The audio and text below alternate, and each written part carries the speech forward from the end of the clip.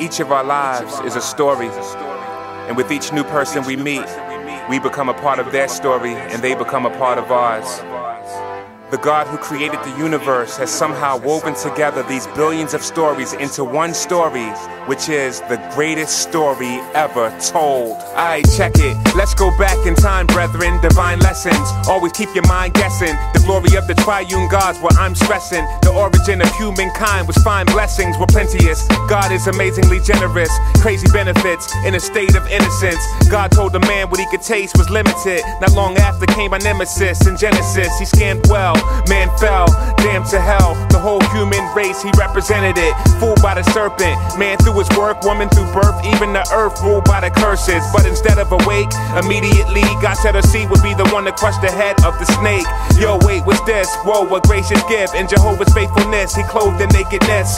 This was so they would know their Savior's kiss and bliss. But first, many growing pains exist. Suffering in the worst form, ugly deeds. Eve's firstborn seed made his brother bleed. Indeed, things got progressively worse. Every section of the earth been affected by the curse. And though God's judgments against sin were gory, praise the Lord, it's not the end of the story. It's the greatest story ever told. A God pursues foes whose hearts turn cold. It's the greatest story ever told. Restoring all that the enemy stole. It's the greatest story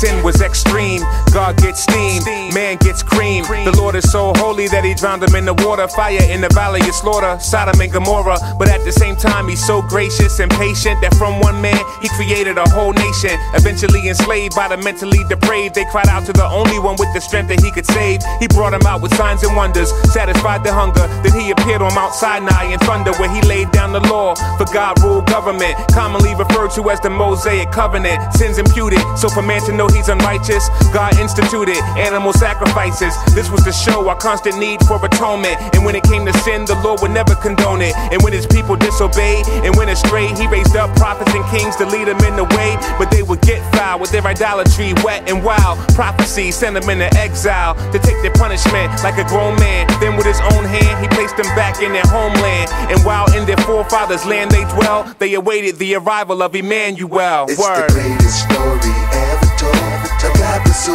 pursues foes whose hearts turn cold. It's the greatest story ever told. Restoring all that the enemy stole. The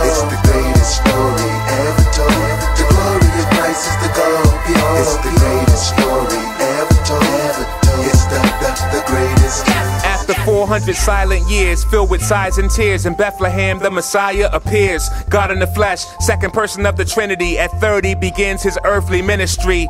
Baffling cats with accurate, exact facts and back to back miraculous acts. A stumbling block to the self righteous, but to humble his flock, said there's no one else like this. He came from heaven to awake the numb, demonstrated his power over nature, son. A foretaste of the kingdom in the age to come. But the reason he came was to pay the sum for the depths of our wickedness, our wretched sinfulness. Bless his magnificence, he's perfect and innocent. Yet he was wrecked in his death, he predicted it. Next, he was stretched, paid a debt that was infinite. He said that he finished it, resurrected, so the elect would be the recipients of its benefits. Through faith and penitence, we get to be intimate. His grace is heaven sent, it never diminishes. Now the Holy Spirit in dwelling is the evidence for heaven's future residents who truly represent Jesus, the author, producer, director, and star of the story that'll never ever end. Ever end, ever end, ever end, ever end. It's the greatest story ever told. A God pursues foes whose hearts turn cold. It's the greatest story ever told. Restoring all that the enemy stole. It's the greatest story ever told. The glory of Christ is the goal. Behold, it's the greatest story ever told. Ever told. It's the, the, the greatest. It's the greatest story ever told. A God pursues foes whose hearts turn cold. It's the greatest story ever